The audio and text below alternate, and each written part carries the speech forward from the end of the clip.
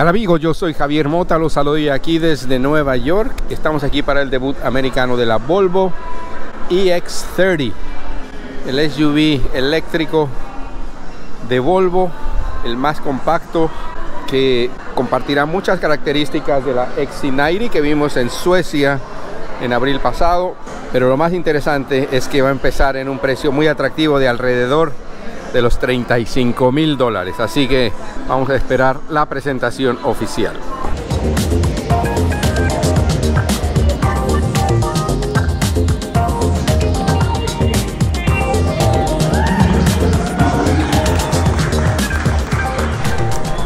Bueno, aquí está el segundo modelo totalmente eléctrico de la nueva familia eléctrica de Volvo. Y aquí vemos ya las características típicas de Volvo ahí con el emblema. Y aquí muy discretamente algunos de los sensores. Y esta línea también aquí negra que va a todo lo ancho también oculta algunos de los sensores.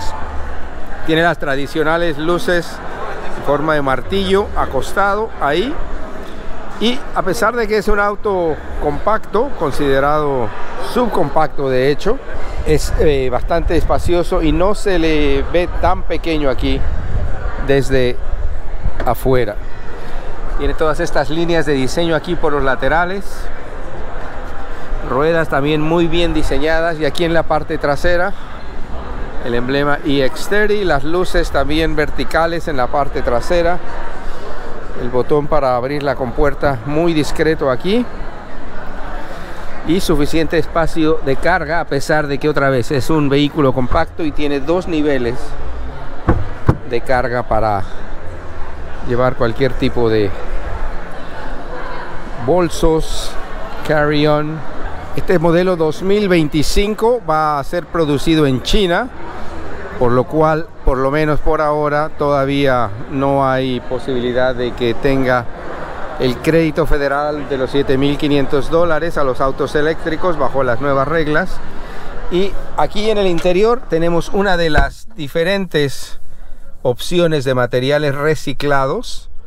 Tenemos aquí un volante deportivo, no es redondo por completo, tiene parte plana arriba y abajo.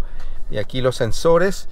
Y una novedad que tenemos ahora con Volvo es que no solamente la pantalla va aquí vertical, sino que es la única que hay. No hay una detrás del volante, no hay panel de instrumentos pero toda la información importante del vehículo va a estar siempre en la parte más alta. La pantalla de hecho se ha elevado también para tener eso accesible ahí. E incluso como está centrado más en una estrategia de utilizar mejor el espacio lo que se considera la guantera ahora está aquí en la consola central. No hay nada aquí de este lado.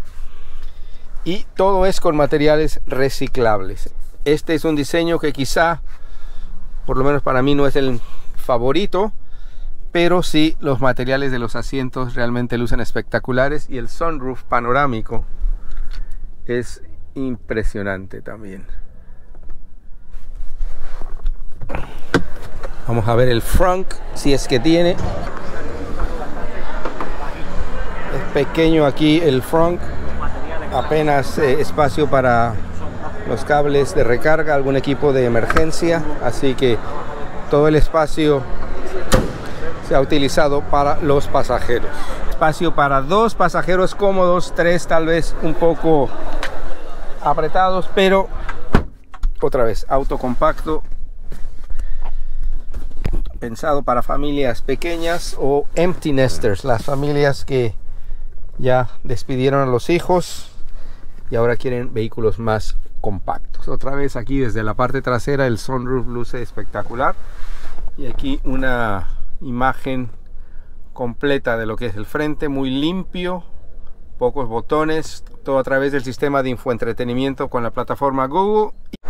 Aquí están algunos de los materiales que se utilizan. Aquí, por ejemplo, en este caso se utiliza material reciclado de blue jeans para este color que se llama índigo. Aquí está el asiento como tal. Este otro se llama mist el color exterior verde inspirado en la naturaleza de Suecia. Aquí vemos el asiento correspondiente. Este se llama Pine y utiliza efectivamente pinos o material de pinos recolectados en los bosques de Suecia.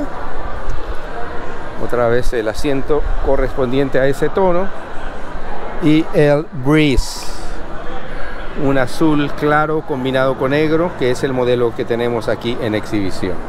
Y como en todos los modelos Volvo, la bandera sueca aquí en los asientos. Por supuesto, el otro dato importante de este modelo es que va a tener dos versiones, uno con tracción trasera y otro con eh, motores también en el eje delantero.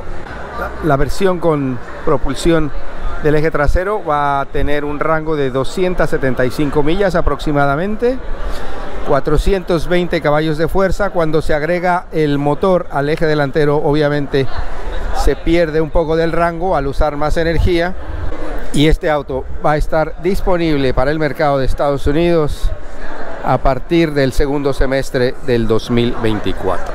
Y otra vez, lo más importante es que este vehículo va a tener un precio inicial por debajo de 35 mil dólares. Se puede ya empezar a ordenar en el sitio web de Volvo. Así que la presentación oficial para Estados Unidos, Volvo EX30.